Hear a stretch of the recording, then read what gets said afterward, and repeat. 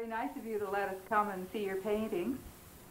Can you, have you been doing some painting lately? Yes, I work at it every day, Oh, you're working at it this morning? except this morning, Oh, great. because I was waiting for them to bring in the shopping. Oh, Okay. So they changed their mind from bringing it in tomorrow to bringing it in today, which threw me off, which is very easy to do. You know, you get ready to paint and you find paint and you find you can't paint because somebody's coming to They, bring in the they, shopping. they've broken your concentration yes. in a way, yeah. Yeah. Well, you look entirely different today. It must be a different room. There's no direct light, Oh, so that it's diffused. And I've never seen you look so well. oh, that's nice thing to hear.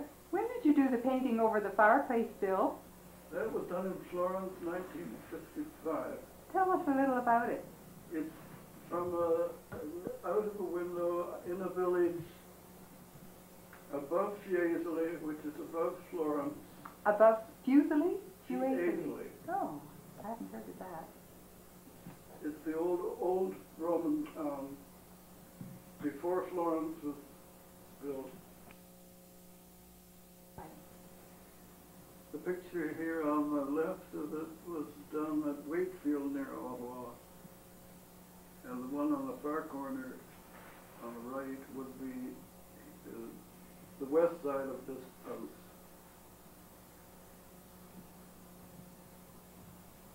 They're lovely. Italy. Five years at one stretch. Mm-hmm. And then I was there twice before, or once again after, and once before. But for many, like short periods, like summertime.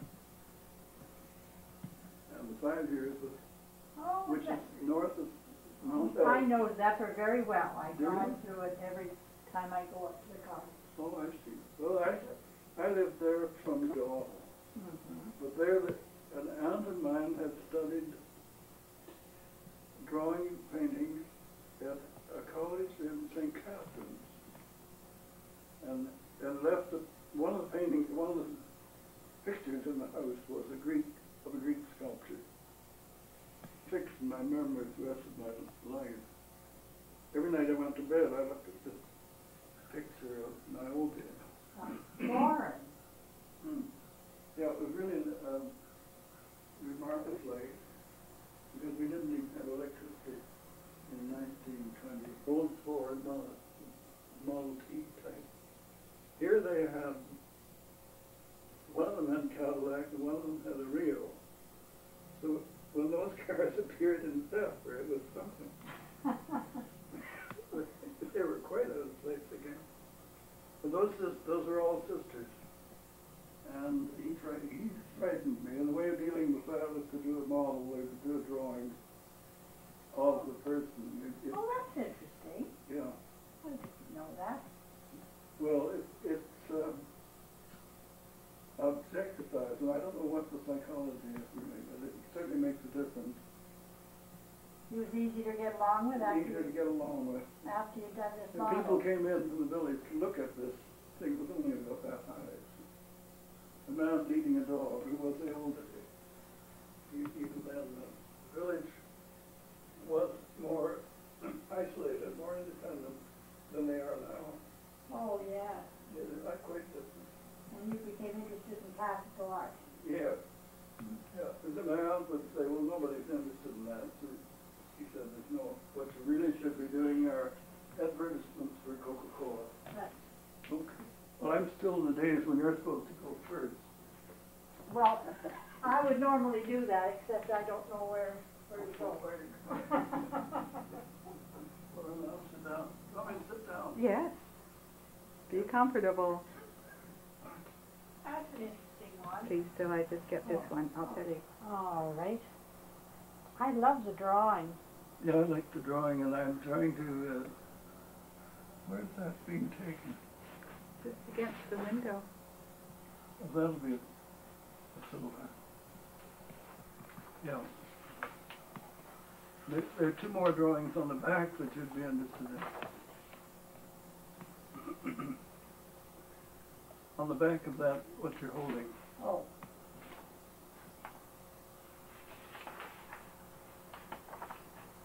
Yeah, there, that's sliding on the floor.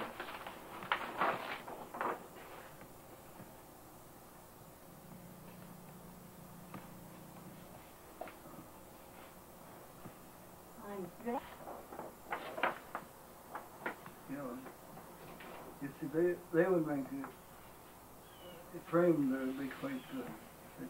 Did she have two models? Uh, no, that day was the same model, but the second pose. Oh, I see. But the, the painting is yet later. There, I've got mountains of drawings. Well, it's just so, uh, sim- simplified. It simplifies it, up. Mm. and it fits the space.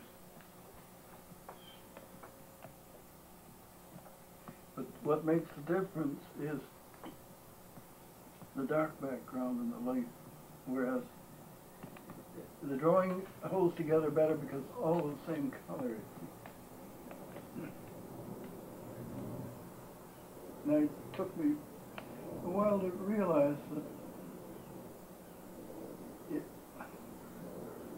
if I did a painting with a dark background, I'd get a very different result. Well, every work you do is, is another experiment, isn't it? Mhm. That's why it's so interesting. Yeah, yeah, Mm-hmm. in nineteen sixty, I think. Of, a- you that paid for an exhibition I had there. Well, I mean, I've never seen it again. Don't know where it went. It, uh,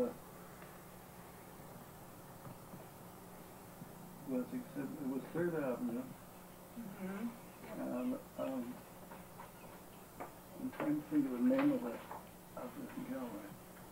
Fun? Well, it was, um, I started painting and drawing with Carl Schaefer, Oh, yeah. but I don't think he had much influence on what I did. I wouldn't think so, knowing No. his work. No. And, uh, and then Alan Jarvis was there. And he got me mo- doing modeling and portrait heads in, um, sculpture, like, but modeling. And then later on, I had some lessons from Charles Comfort. Well, that didn't work. All, it didn't interest me at all. but No, I what- can understand What that. they were doing. Yeah. So they said that there was no point in my carrying on. And, uh, and I was interested in the French, French paintings from, uh, let me see, one of the first paintings I saw was here on Monet in the Art Gallery, of Ontario.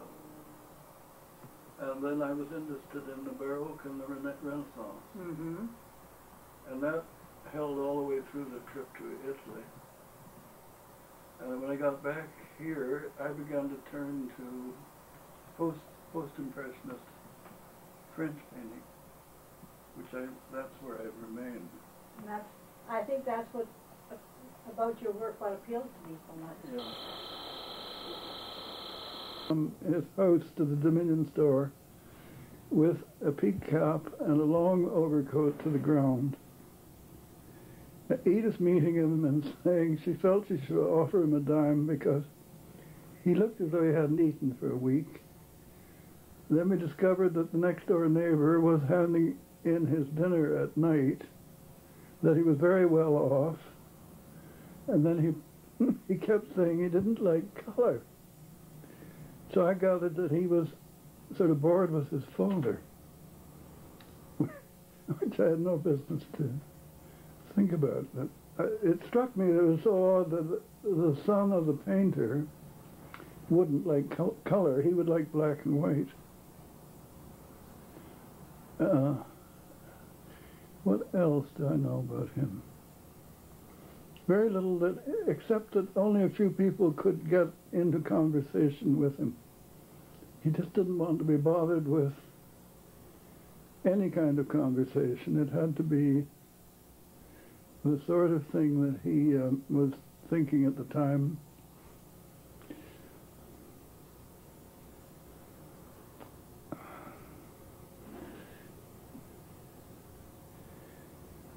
uh, then you knew what happened to him. There's a, an accident, accident, automobile accident, crossing Yonge Street, and broke his shoulder. And I never saw him after that.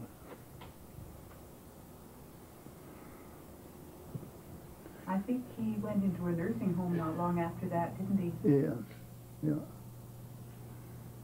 Is the cat in this too? Yeah, why not? Sure. Yeah. What about, uh, what about his, uh, his, uh, connection backwards to his father, the group of seven? Uh, he really never, he never touched on that any time I met him. I wonder if it, I wonder if it maybe was history that he didn't want to repeat, so to speak? Uh, Quite possibly was that. They moved there, I think they said 1913, nineteen thirteen or so? yes, and that I would have uh, met him around 1970. Uh-huh. And so, but That's when you moved here? I moved here in 1968 Uh-huh. from Montreal, where I had a studio Ah. in the old quarter. Mm-hmm. And I had I had come back from Italy and was determined that I wouldn't do any more teaching.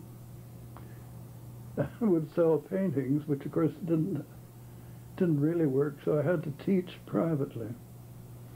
And I I was offered a studio in the old quarter by the Re- the Reford Shipping Company, owned one of the old buildings, with the second floor that's completely empty.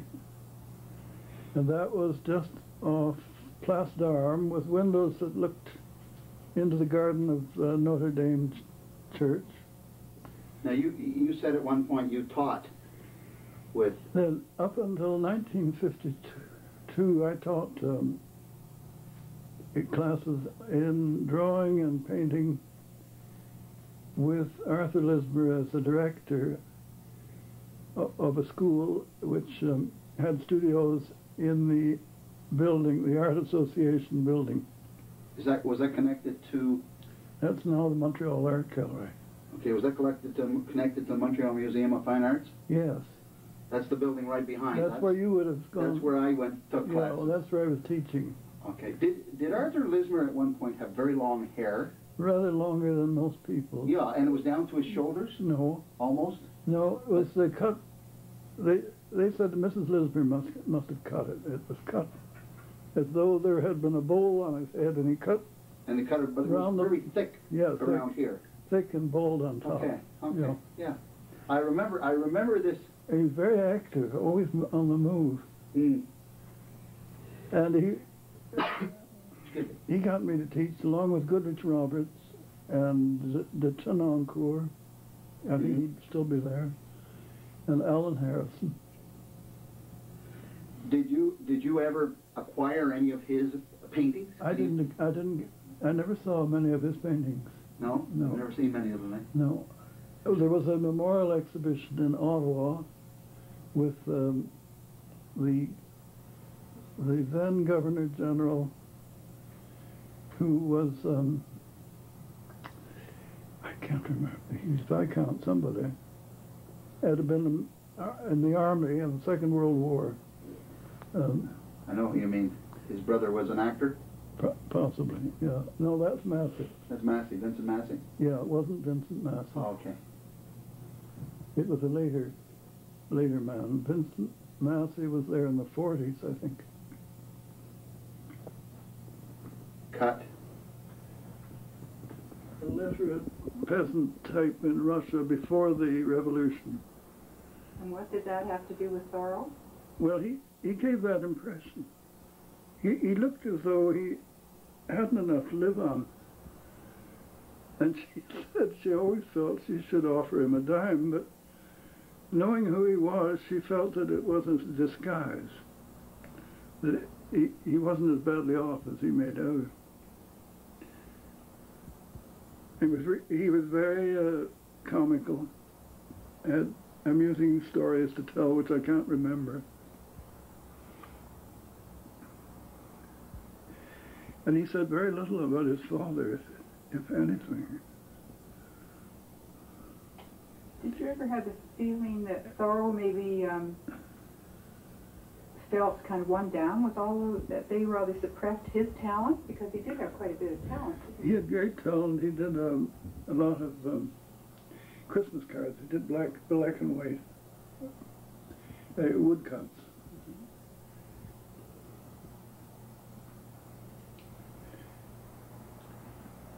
Well, then we didn't see him after the accident on, on Yonge Street. He used to have lunch in the Dominion store, standing with a sandwich looking out the window on the Yonge Street, which is so bleak, you know. Cut. Anyway. No. Okay, say that over again. Well, Lismer would say to his teachers not to bother teaching anything, just stand in the middle of the class, and they get it by osmosis.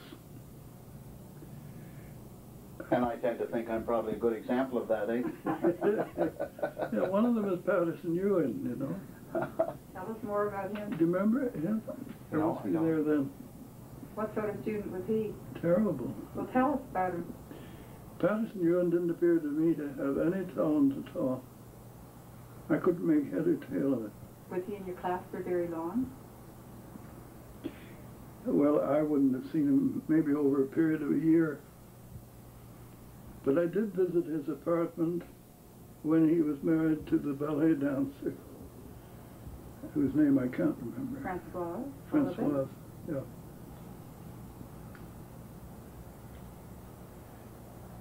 And what did you think of the apartment? Not very much. It wasn't, it was Elgin Terrace, uh, off Peel Street, going up the, from Peel up to Pine. It, you know, it's right in the center. And it was a, a row, a row of houses in a sort of, um, between Gothic and, uh, Georgian. A row of houses going back to maybe, if Stanley Street was the next street, it would be between Peel and Stanley. What, what took Arthur Lismer to Montreal? He thought that he would be chosen as head of the fine art department at the University of Toronto Mm-hmm. in 1936 or 7. Uh, But they, uh, they chose people who, as they said, had the right papers. Well, he, he seemed to be very much annoyed about that and left the city.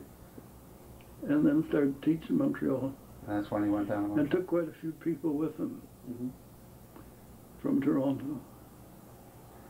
Set up a sort of a, an art, artist colony as such? Ye- Yes, he used to refer to Toronto as Florence and Montreal was Venice, which had some truth in it. Very, very true. Did you like teaching there, Bill? Yes, I did. I didn't like teaching with the Ontario College of Education. Oh, I couldn't get along with them. I mean, I remember having to they, having to teach geography in North Africa, and the problem was that above the equator, going north, it it rained in the in the winter, and in the then when the sun went to the south, it rained in the summer. Which point I got entirely confused and said, who cares anyhow? which upset the critic teachers. Now, I wasn't uh, geared to teach um, academic business, so there would